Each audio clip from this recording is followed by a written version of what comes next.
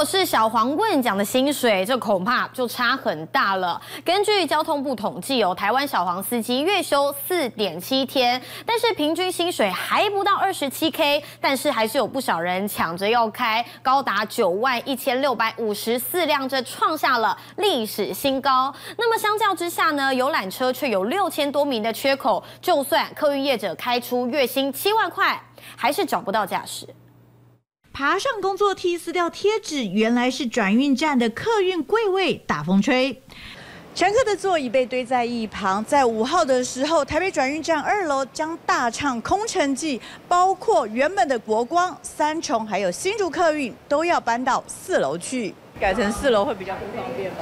对啊，有有时候呃人挤啊，啊赶时间在两个楼再爬两层。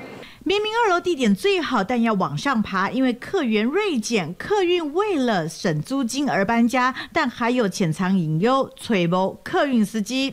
他已经在外面又安电，叫他再回来的话不容易啊。他这种开这种大车的那个什么驾驶，他是也要一段养成的时间，不是说马上来就可以接。对。开出月薪七万多，还争不到客运驾驶，原因之一，全国登记九万一千六百五十四辆计程车，创下历史新高。客运相比计程车，工时大约都在八到十小时，但弹性度还是小黄略胜一筹。虽然游览车薪水比较高，但是它路途比较遥远，我对我来讲就比较不适合。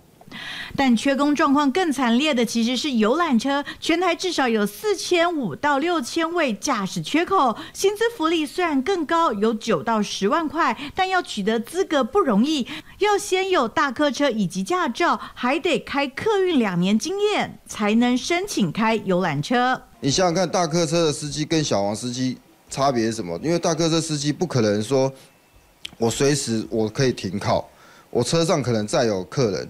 那他可能他需要这个厕所啊，或是他肚子饿啊，或是血糖低啊等等。同样都是开车上路，工作细节却大不同，导致大车小车人力结构出现两样情。东森财经新闻陈浩平、刘莹莹在台报道。